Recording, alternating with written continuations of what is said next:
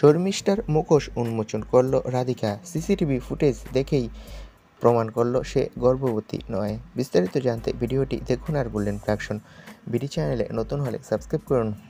Doctor Anirban Guha যখন রাধিকার দিদি অঙ্কিতাকে phone করছিল, তখন ফোনে ডক্টর অনির্বাণ গুহ জানায় শি ইজ প্রেগনেন্ট এরপর আমরা দেখতে পাই, ডক্টর অনির্বাণ গুহ বলে যে, যদি আমি ওকে বিয়ে করতাম, তাহলে এই কলঙ্ক সারা জীবন আমার বয়ে বেড়াতে হতো।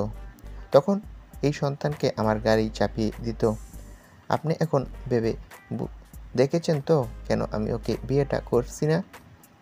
এরপর অঙ্কিতার মুখ শুকিয়ে যায়। অন্যদিকে পোকরাজ রঞ্জাবতীকে হারিয়ে একেবারে শোকে কাতর হয়ে আছে খাওয়া দাওয়া বন্ধ করে দিয়েছে।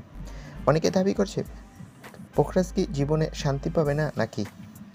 আর অন্যদিকে শর্মিষ্ঠার চক্রান্ত এবার ফাঁস হতে চলেছে। এবার হসপিটালের সিসিটিভি ফুটেজ চেক করবে রাধিকা।